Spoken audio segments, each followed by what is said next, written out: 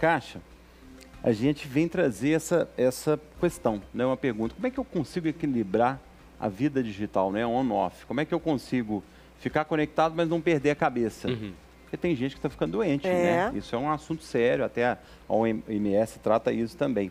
Mas tem uma pesquisa aqui para a gente começar a colocar, da State of Mobile. Vou até pedir a Amanda para que ela coloque aí na telinha, para quem estiver é, nos assistindo, para ver isso. É interessante.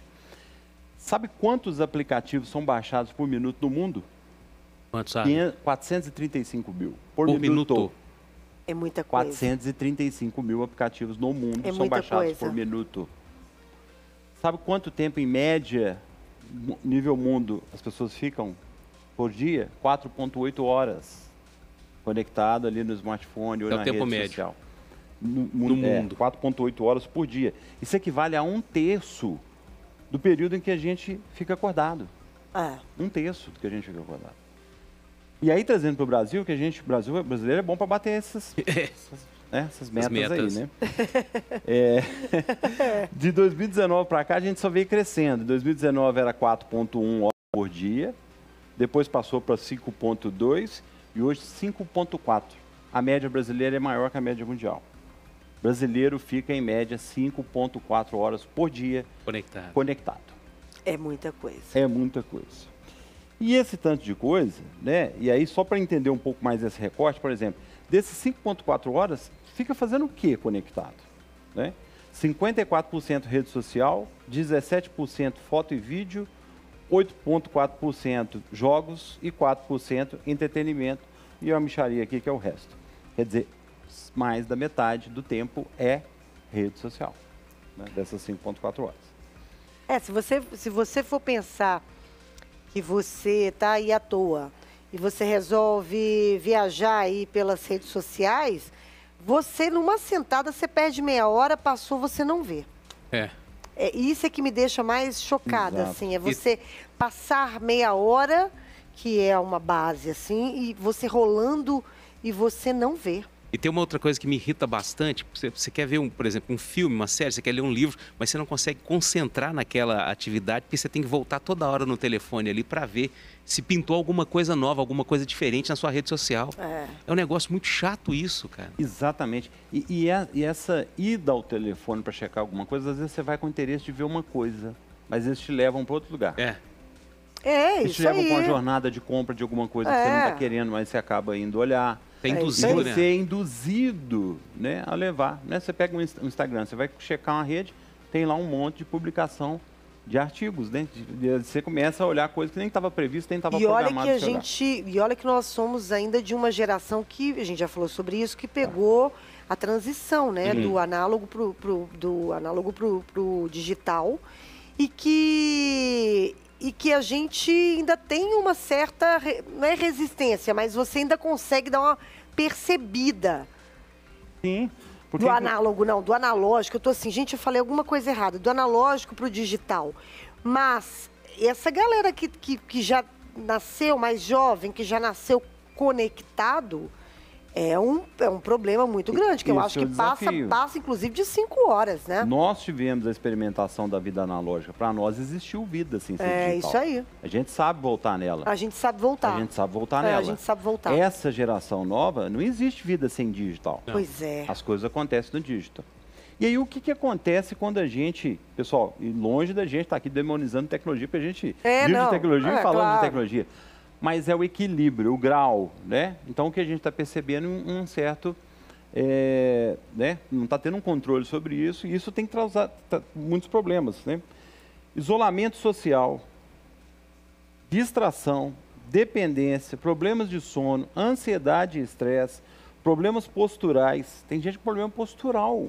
Porque, querendo ou não, gente, smartphone, você fica com o queixo É. aqui, ó. Né? Dá dor no pescoço, né? E isso causa problema, né?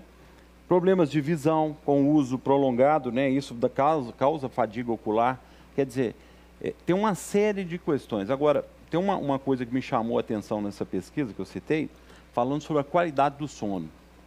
Porque o uso, né, aquela, a luz azul das telas, ela inibe uma- a produção daquele hormônio, né, da glândula pineal, a melatonina. A falta da melatonina é um gatilho importante para disparar o sono à noite, para você dormir e descansar. Então, tem muitas pessoas que estão com problemas de insônia e tem muitas coisas relacionadas ao uso excessivo de telas, né? principalmente à noite. Quer dizer, esses são os malefícios. Né? Então, a gente tem. Como que a gente consegue equilibrar isso? Então, primeira coisa, né? vamos falar aqui de cinco dicas principais, Fernando. Estabeleça horários específicos para acessar as redes sociais. Viu, Antonelli? Você para de ficar... Conectando a qualquer 24 momento. 24 horas conectando a qualquer momento. Então, estabeleça horários. Início da manhã, final do dia, final da tarde, né? Porque senão aquilo vai te levar para outras jornadas, você vai perder o foco, né? Desconecte completamente de tempos em tempos. Né? A Fernanda aqui, antes de começar, estava comentando que final de semana não gosta de não. ficar, né, Fernanda? Uhum desconecta para ter um tempo. uma entrada ou outra, mas assim, a, a, ideia é desconectar completamente. Exatamente.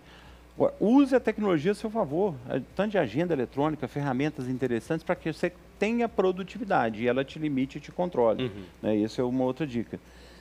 Definir limites claros para o uso da tecnologia, né? em momentos, né? Você vai, tudo cabe usar a tecnologia ou não? Tudo precisa ser remoto digital uhum. ou não? Aquilo que não precisa, largue mão dela, né? Faça ah. isso presencial. Né? A gente falando de hora de refeição, né? Família, né? deixa o telefone fora da mesa, né? Tem um tempo de conversar, se conectar com a comida, né? Fazer, fazer disso um momento prazeroso, uhum. né? Reservar tempo para atividade offline. Será que o telefone tem que estar o tempo todo com, com você? Né? Dá para fazer alguma atividade que não esteja com você? Me parece que o telefone é igual uma extensão do corpo, né? É o tempo inteiro ali se segurando o equipamento, né, É, Exatamente. Eu tenho, é. um, eu tenho um caso é, muito interessante de uma professora é, contando que foi para levar os meninos para um passeio, para um final de semana, e que chegando lá, o lugar não tinha internet. E que os meninos caos. da escola foi o caos. Porque ali ela percebeu o quão os meninos falaram o que, que a gente vai fazer. E ela olhava ali e falava assim, gente, olha a natureza aí, olha o que vocês podem fazer. E os meninos uh, ficaram, de fato, muito desesperados. Porque desconfortáveis, porque não sabiam o que fazer é. diante é, daquilo ali, né? O Antônio, você comentou uma coisa interessante, que é o celular virou uma extensão do corpo. Sim. Né? E, e algumas palestras que eu faço, tem uma dinâmica que eu, que eu já fiz várias vezes, é bem interessante, é quando você está com uma plateia grande, você pede às pessoas para tirar o telefone, levanta o telefone, mostra o telefone, aí eu peço para desbloquear o telefone e peço para trocar com um coleguinha do lado. Dá um desconforto primeiro que você está entregando o telefone é. desbloqueado para uma pessoa desconhecida. Se a esposa né? estiver do lado, hein? Nossa. É, aí eu já aviso, não abra o WhatsApp, pessoal. Só olhe o telefone. Mas para mostrar o seguinte, a capa do telefone, a foto, a disposição dos ícones é uma extensão da personalidade da pessoa. É. Cada um gosta do seu telefone de um jeito, cada um faz de um jeito.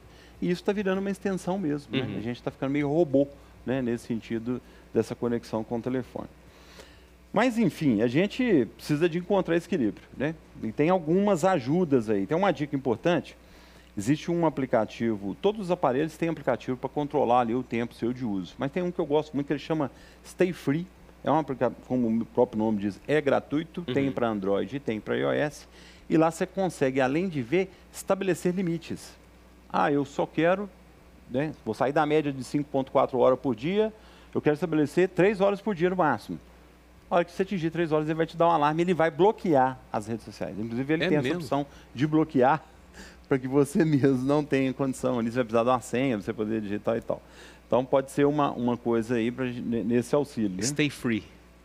Stay free. Inclusive, no artigo que está saindo agora, Tá lá os links para quem quiser, né, mais detalhes da pesquisa e o link para fazer o download tanto para Android quanto para iOS.